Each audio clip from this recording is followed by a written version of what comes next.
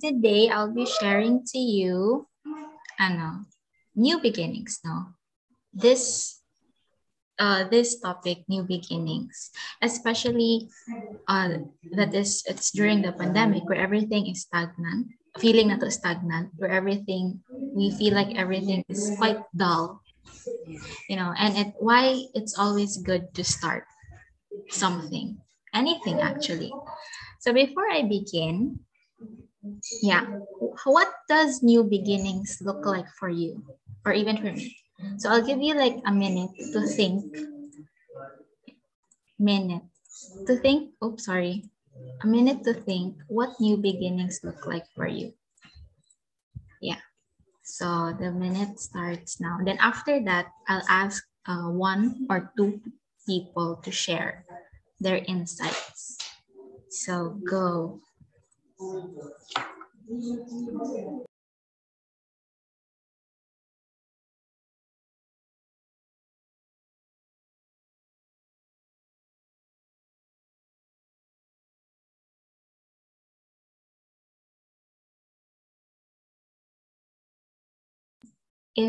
kanang less than a minute mo makathink and you want to share, please open your mic lang to do so.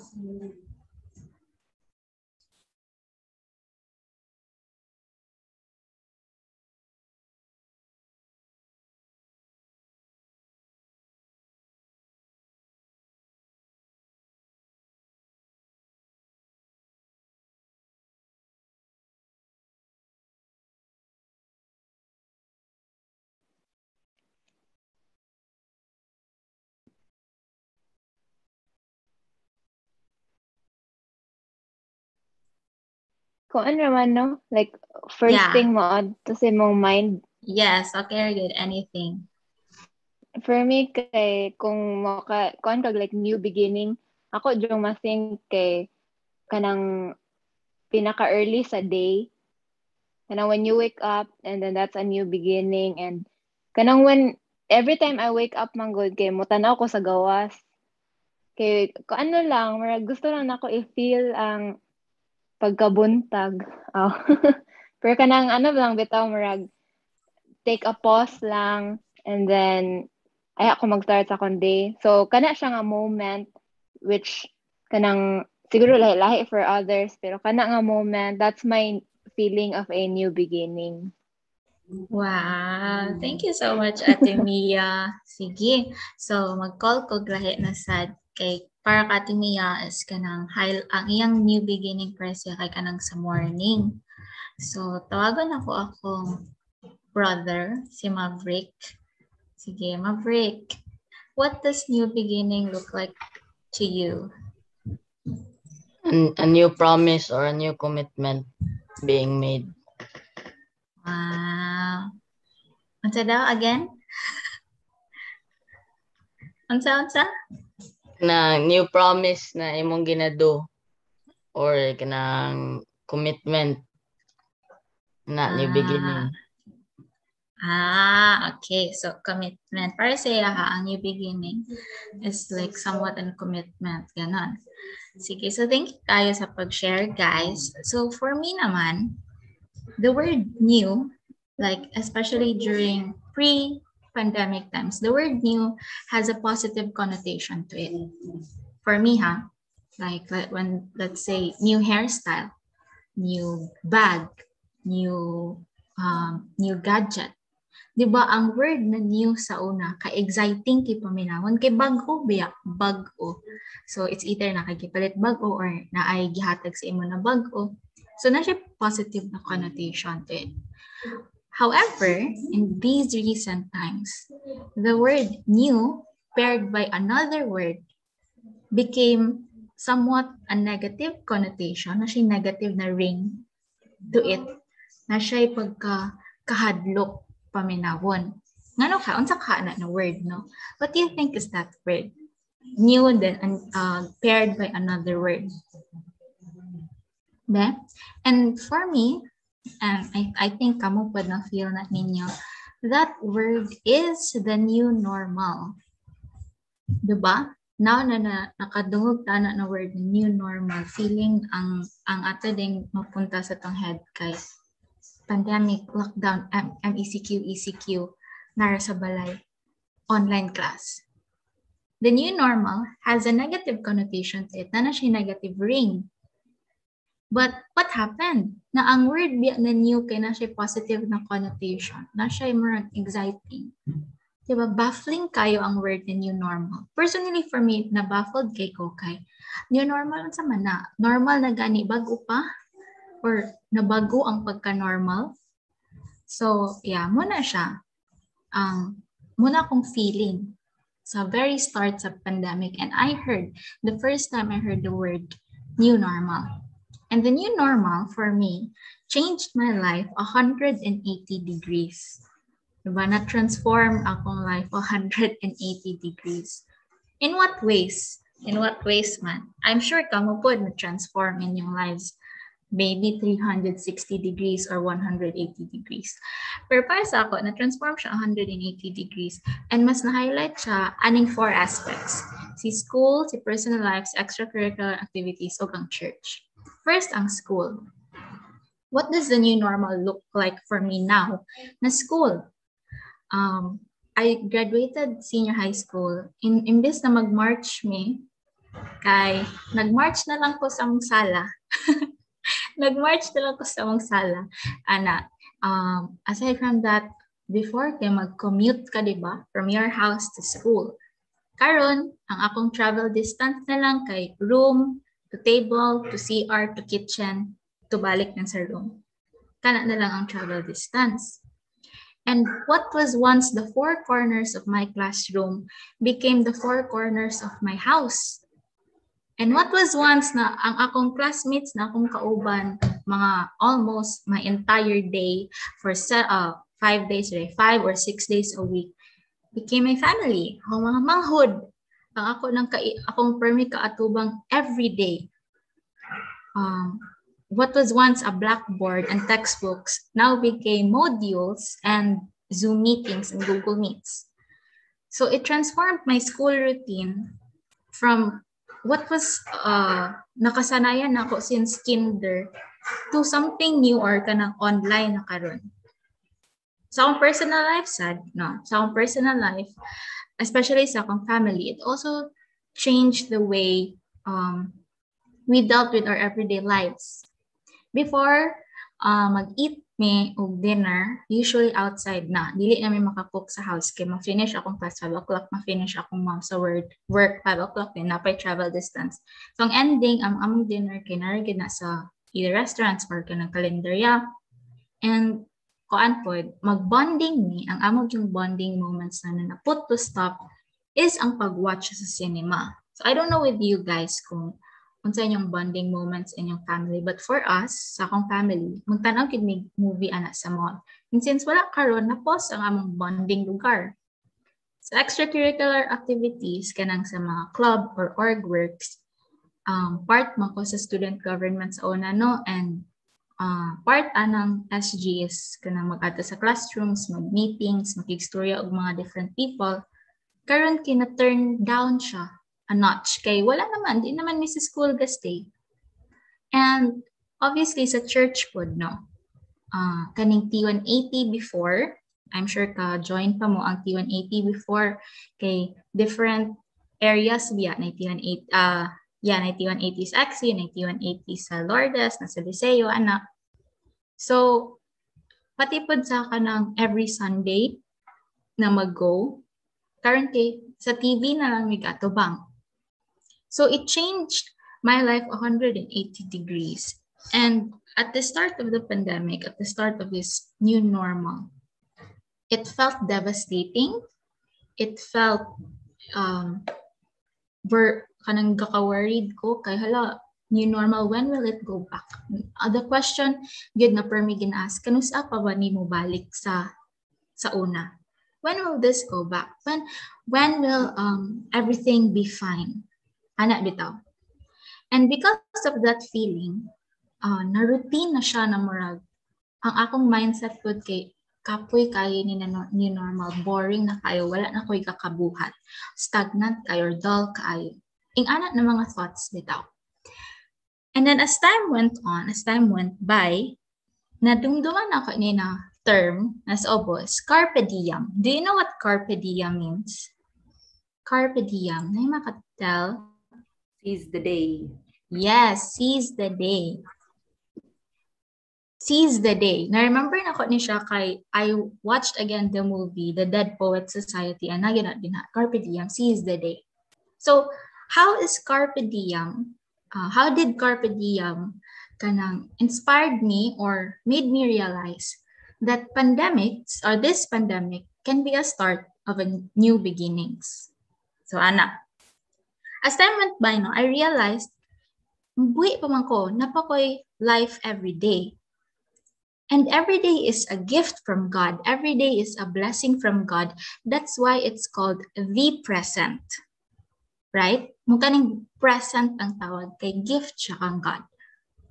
So, kung naay maghatag sa imo og gift, imo bang gamiton? Magpasalamat ba ka? Or imo lang uh, di lang nimo bali-balihon o magreklamo pa ka kay oh gamay ra kay ni na gift di ba dili?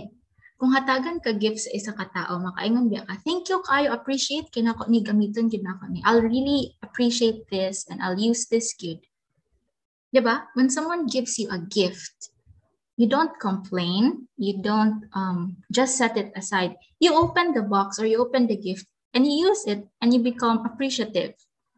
So how come now every day is a gift as a blessing from God? How come the first thing that I felt or we felt is to complain, is to say na laay na kayo or boring na kayo ang, yun, ang kaning atong everyday na routine, especially current pandemic. How come man? Diba? It's, it's quite uh, sad to think about it. Kay not everyone in this world has an every has a present to live. Diba?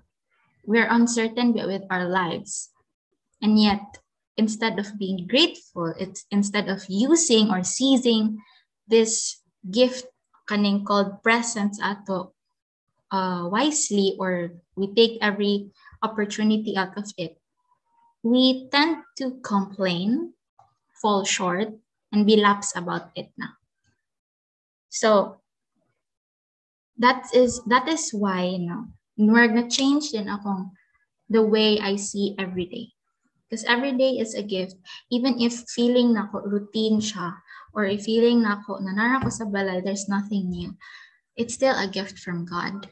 It's still um, a blessing from Him. Hence, we should use it wisely, and seize the day and make the most out of every opportunity. Now, um, how can we have new beginnings when we're in the middle of the pandemic, we're in the middle of the new normal? I've realized, I've come to terms that when we think of beginnings sa uban, it's something grand or it's something big. Diba? But little did we know that new beginnings can be in a micro level. Kanagmay lang yun. So for me, new, be new beginnings in the sense of relationships. Relationship sa akong um, siblings. Magina akong highlight ng relationship sa akong siblings. Ano new beginning na ng relationship sa akong siblings? Before the pandemic, um, pila pita ka-R sa school or ako pila ko ka-R sa school. And ang akong kauban per me sa school, akong classmates, akong schoolmates, akong teachers. Ay, rin magkita sa akong family pag uli na matulog na.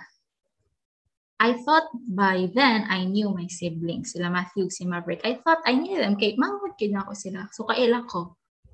But then here now, sa pandemic no, personally, mer siya new beginning kay I got to learn a new side of them. I got to see who they are really in a much more deeper way. So, di ba, para sa ko, bago na siya or new beginning na siya sa among relationship. Because um, we got to bond much more. Alang-alang, everyday din ako sila kaila from the moment I wake up to the moment I close my eyes. Nagyapon sila there. So, Sharo, dili mo mag ila-ila. So, ing ana, no, new beginning siya sa, in a sense of relationship sa akong siblings.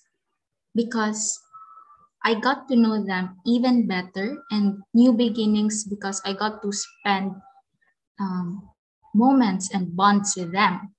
Uh, mag-share ko, si Matthew is grade 2. Mag-online school si Matthew, tapad na ako. Mag-online school ko, mag-online school ko. Siya nga no, magtapad mo si Maverick eh, nasa din sa likod. Nasa door, nasa on niya na world. Kay high school naman din si Mavi. Si Matthew kay grade school pa, kailangan pa siya og bantay. My parents are working, so ako magbantay siya. So multitask lugar bitaw.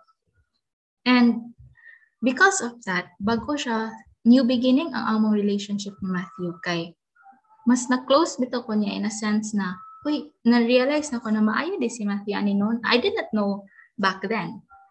And mas na-close me in a sense na na nami inside jokes kanang mag mag tutor ko siya mag tudlo ko siya assignment niya ako di ang tudluan like naning one time nag-ask siya sa ako na why does the letter W start with the letter D and ako po bitaw ngano nag-start with letter D ang letter W so ing ana bitaw na muna siya sa among relationship na nagbag-o gyud or like kanang new beginning new milestone siya para sa ako For others, it may seem nothing. It's in a macro, micro level.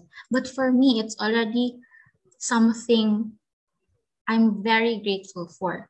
Like, sa relationship ko naman ni Mabi, no, mas nakita na ko kung unsa gid si Mabi na pagkatao. Nakita na ko, mas nakita na ko ang creativity, yung um, artistic style, siyang mga drawings. Ako, bitig limpyo here sa balay niya. Makita na ko ang mga bond paper na naay drawings. So ako po, marag, githink na ko na, uy, kung kailangan di ko drawing, di na di ko kailangan mag-print. Si Mavi na ko ipadraw. Pero char lang. So ano siya, uh, new beginnings in sense of relationships akong family. Siya, new, uh, new beginnings in the sense of hobbies. Hobbies that you wanted to do before but never had a chance to do. Uh, skills that you wanted to improve but never had time to do so. I'm not saying nagdaghan kita time karon sa new normal because of school ha. But um kanang kuan siya bitaw. Mas ma-realize nimo ang importance sa new beginnings because of this pandemic. So, balik ta sa ako, char, balik ta sa ako, ang akong hobby na na-improve gyud this pandemic is pag-cook or pagluto. Okay, di naman may kag-eat outside and then napay tendency na si Food Panda, kanang balik-balik rebito ang restaurant sa Food Panda. So, daghan kay ko recipes or kanang daghan ko dish na, na improve or na start because of this pandemic. Kaya wala man ni choice, kailangan man mo kaon, so kailangan magluto. So kana na na, na, na improve or na begin na ko akong hobby sa pag-cook. So kamo, how do you what hobbies did you were you able to do or were, were you able to begin this pandemic maybe some sa inyo ha kay nag-draw nag kanang arts some sa inyo kanang dance dili lang ato ga realize no but these micro things can be a start of uh, kanang can be momentous if we just put time into it na magsayaw-sayaw ka sa TikTok that's already beginning your dance abilities or dance skills. Diba? So new beginnings in the sense of my studies. Study, uh, as what I've said, kana ni-graduate ko senior high and I just started college, freshman ko karon and I think napunta here ng mga freshman. Um, new beginning na siya. Even if wala ta nakapaso like graduation, it's still a new beginning for us. And lastly, new beginnings in the sense of opportunities. How can we have opportunities man just na naraman ta sa balay, naraman ta din eh. Carpe diem seize the day.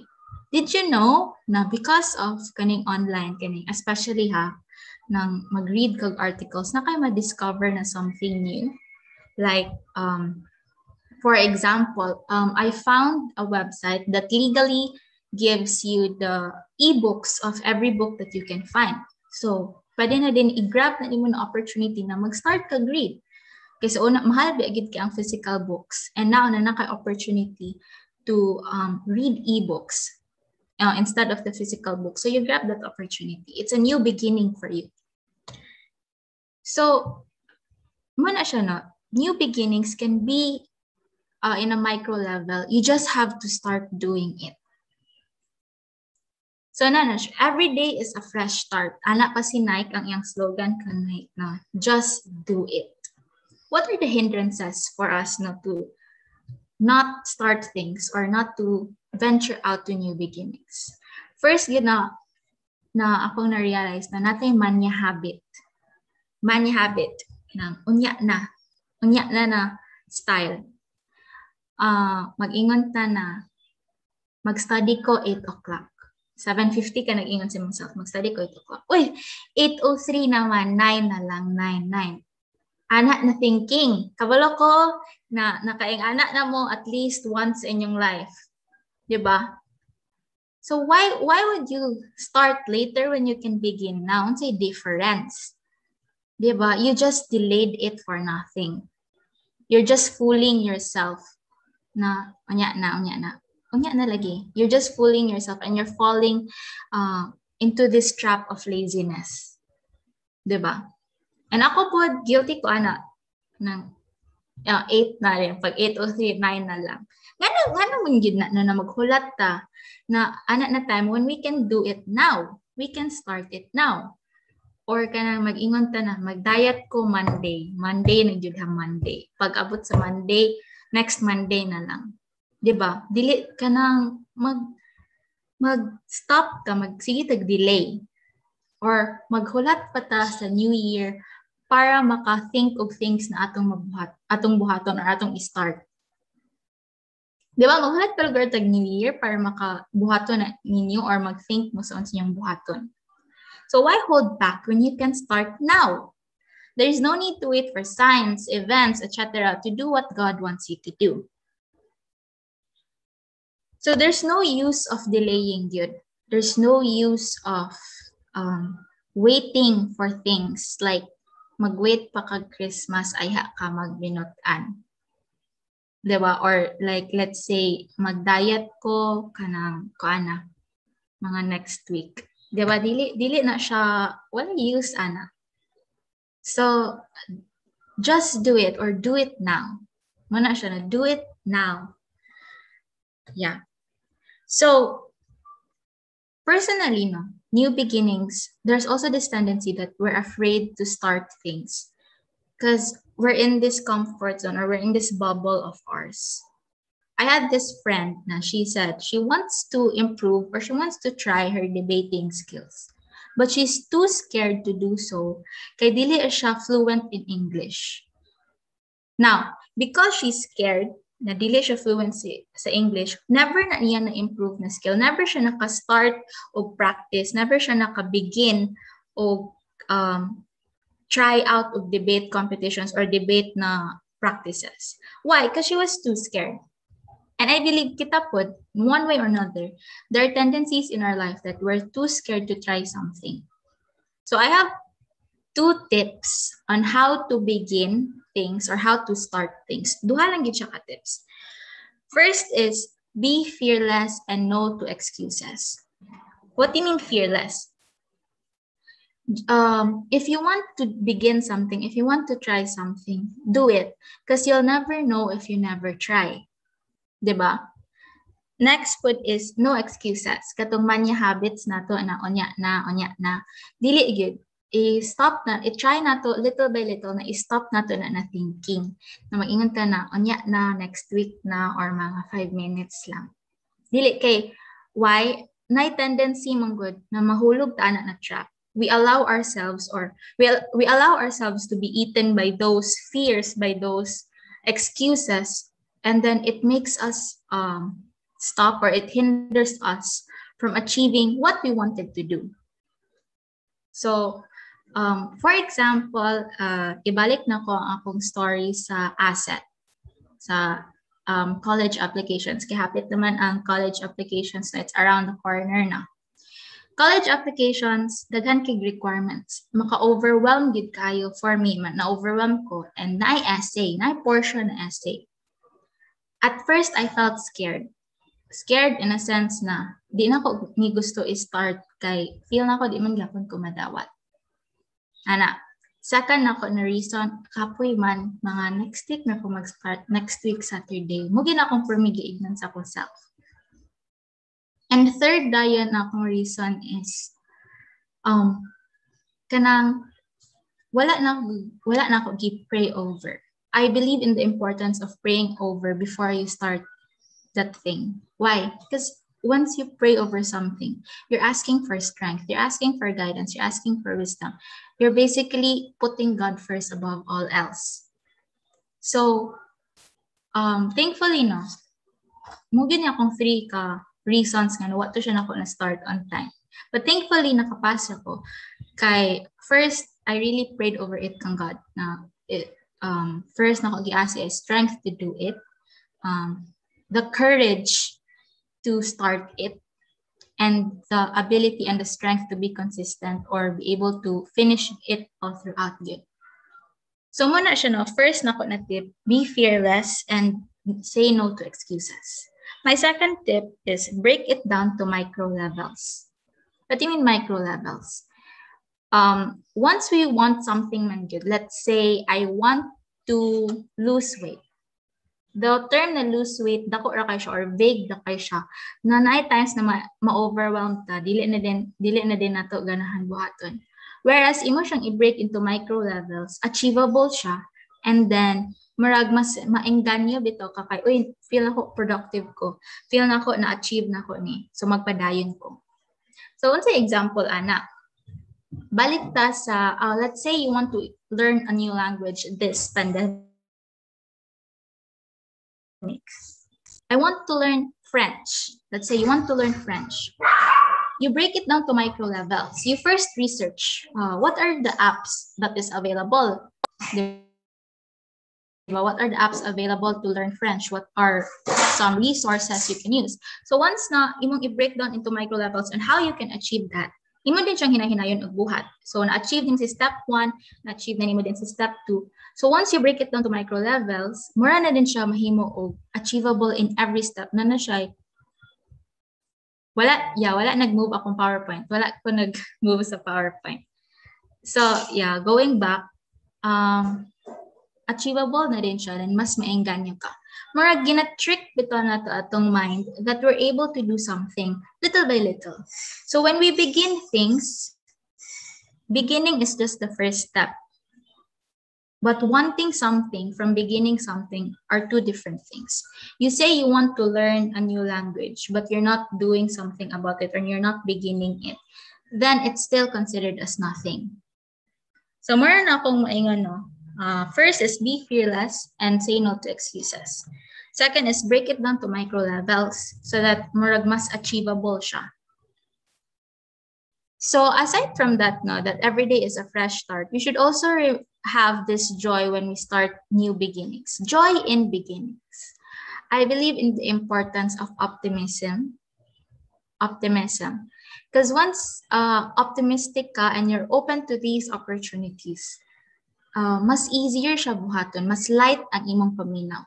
Whereas mag-ingat ka, kanang um, murag lisod man kay ni buhaton, lisod kini buhaton. So, ang imo sang ting, ang imo sang action, dili na din nimo mabuhat kay tan-aw nimo lisod naman siya.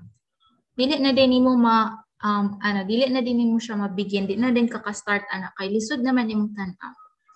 So there is always joy. We should always kind of find joy in beginnings. And there's all uh, it always takes courage not to start something. Like what I said kanina. Uh, sometimes we're too scared to begin because it's either without or anxiety or maybe attacks sa enemy. It takes courage and prayer and strength gid siya. So, yes. This pandemic no. So mana siya ang new beginnings. We can always begin some things even if it's so micro, even if it's so small, it's still considered as a new beginning. Aside from that, in this pandemic no, being productive or being fruitful is quite difficult to achieve. Is it me? Or I think kita tanan. It's it's quite difficult. Mas difficult siya buhaton na maging fruitful, na maging productive. Kay nga naman, naata sa, siguro sa balay, ana tong thinking. Online naman tanan karon. 'Di ba? Online na, murag ingana akong thinking, naraman ko sa balay. What's the point of being productive? Now, starting something or beginning something, something is just the first step. The next step is being consistent and turning these beginnings into habits. So how do I remain fruitful or how do kana, how to remain fruitful and productive despite being in the new normal setting? Now, I have lahi man ta na people no? Na ay different ways. But i find it um i find scheduling and planning ahead the first steps yun, scheduling and planning ahead as the key or kanang key ingredients to becoming productive or fruitful. There are lots of ways to schedule or plan things there are lots of apps na. There's no reason why you can't plan. If you say na dili ka ganahan mag pen and paper, di ka magsulat sa notebook, use your phone. If di ka ganahan kay wala kay app sa phone, download an app. If dili pa gid ka ganahan, make an alarm sa imong clock. Ang sa imong phone dito di man naman ay clock then you make an alarm. Again, balik ta sa akong tips ganina. Say no to excuses. Mugya na siya, no to excuses. So there's a lot of things you, for me, scheduling and planning ahead is the key or kind very vital role to become productive because one, mag-guide ka, na kay guide on what to do. Dili ka mag-cram.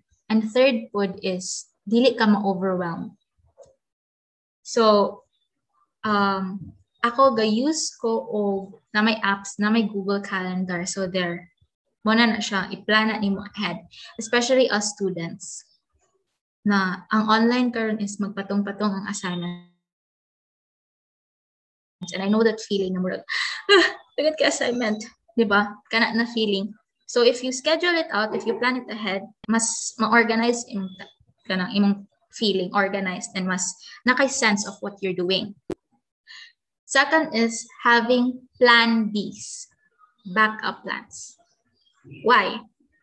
We don't control everything. We can't control everything.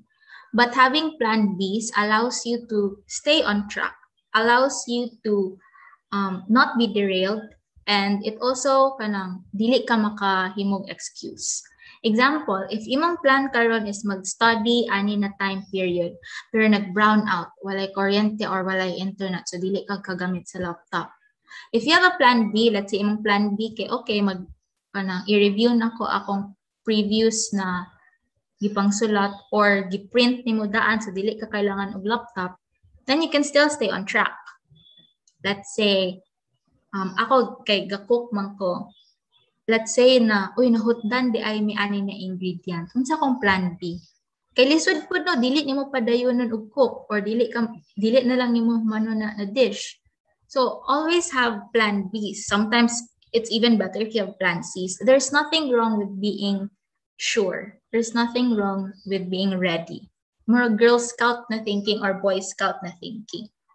So muna siya. First two, scheduling and having plan Bs. Third is have a symbolic app. What's a symbolic app? Now, sa ako, I don't know, but na yung mga ilhan na tao, dili pa magpadungog-dungog din ha. But because of the pandemic, dili na sila always or everyday gakaligo. Mga after every other day na sila gakaligo, ana.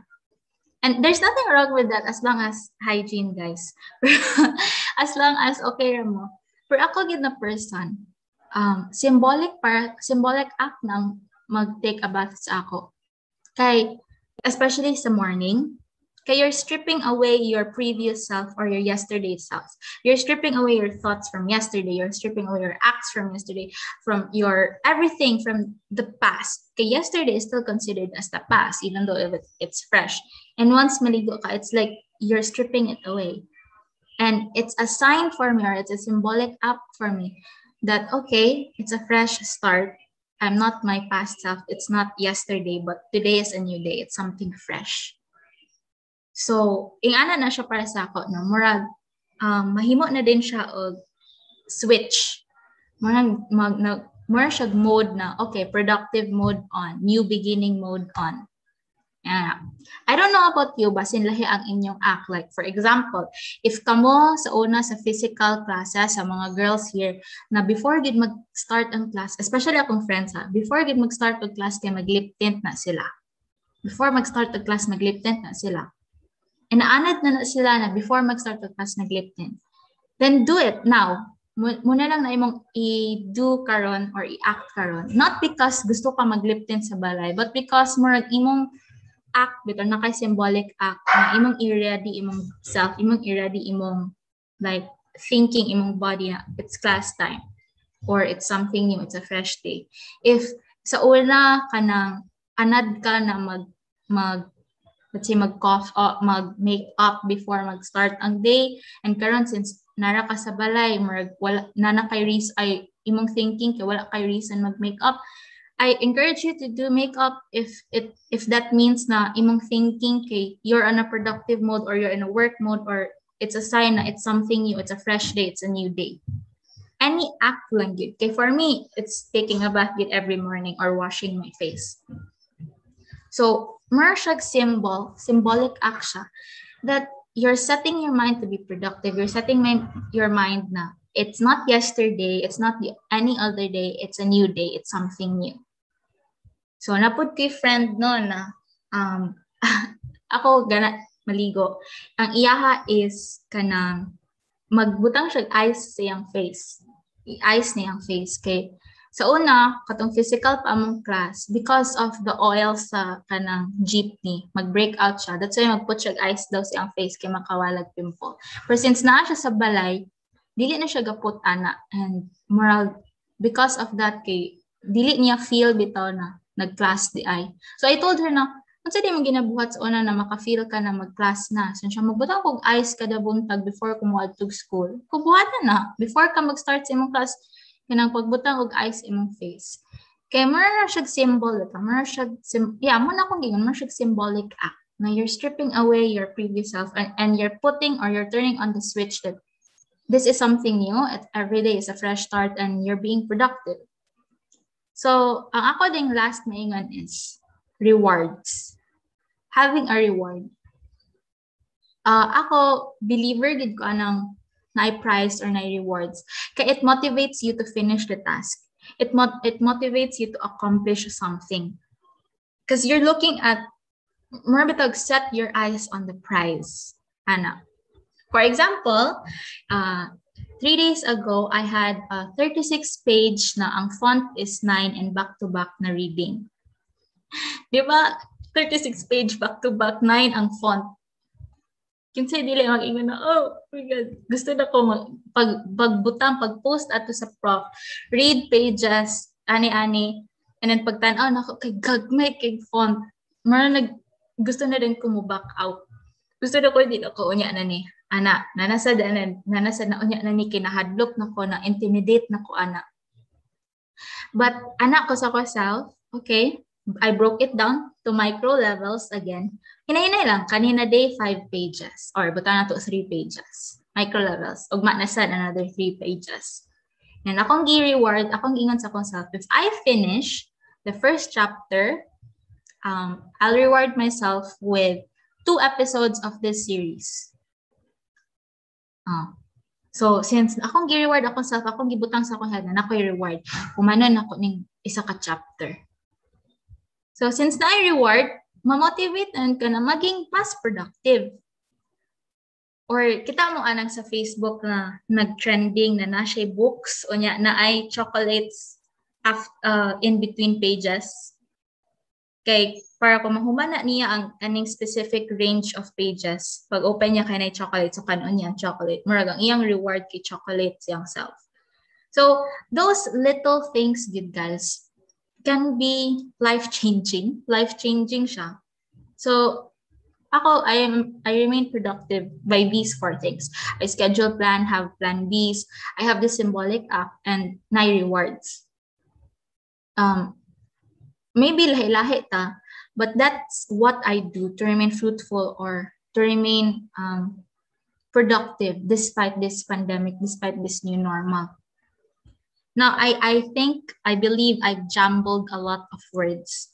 I've said a lot of insights na. So I'll have this recap. Don't use the pandemic as an excuse to hinder you from achieving or beginning something. Dili ginadto siya gamitin as excuse. Just because nag-pandemic, dili na lugar din ka magtarong sa school, or just because pandemic, dili na din ka mag-learn og new something, no, it's not an excuse, guys. It's never, it was never an excuse. The only thing that the pandemic has limited us as students is to go out. And probably another things, but not everything.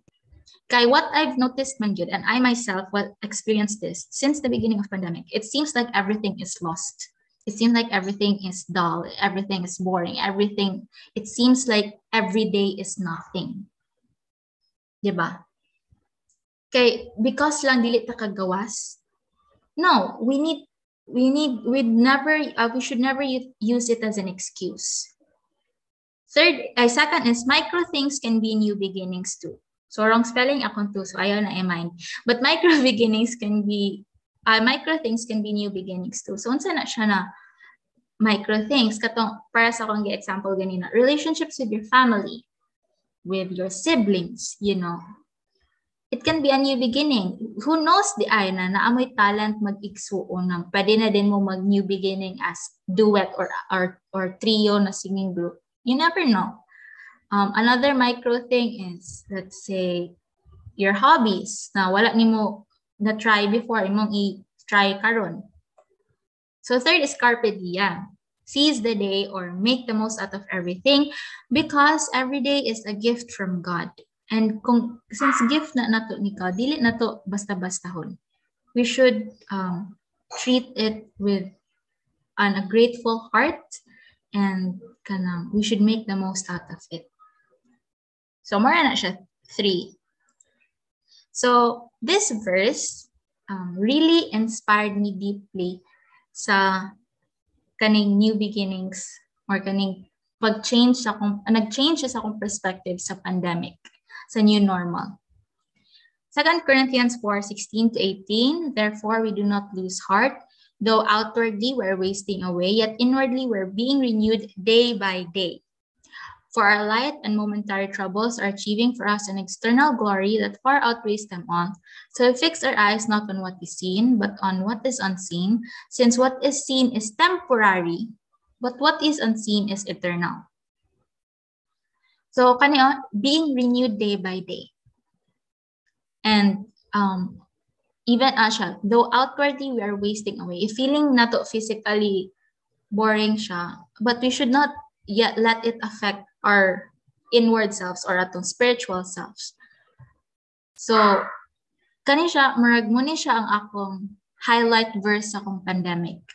No? God continually makes us new. Every moment of every day brings a fre- fresh beginning. Every moment of every day brings a fresh beginning. Every minute, every second of our lives is a new beginning. So, i-highlight yun ako that every day is a gift from God. Muli na siya. If you feel like you're spiraling down again this pandemic, you think or you, you remind yourselves, every day is a gift from God. Every day is a blessing from God. I then make the most out of it and be grateful for it. Because you never know, Pia, like, um, like, karon daghana kaayo dili maka wake up.